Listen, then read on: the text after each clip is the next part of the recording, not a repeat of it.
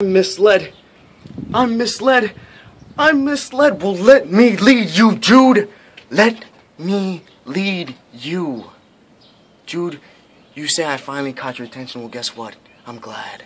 I'm very glad I finally caught your attention. I've been trying to get your attention for quite some time, my friend, to no avail. And you see, you finally started hearing about the youth movement in South Florida, and you started to pay some close, close attention. Well, here's the thing, Jude.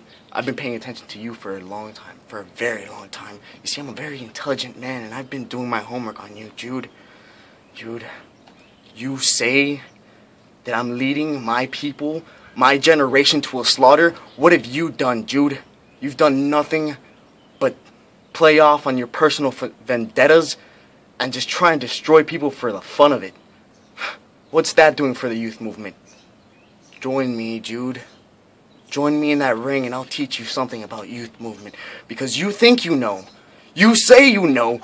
You pretend like you know, but you know nothing.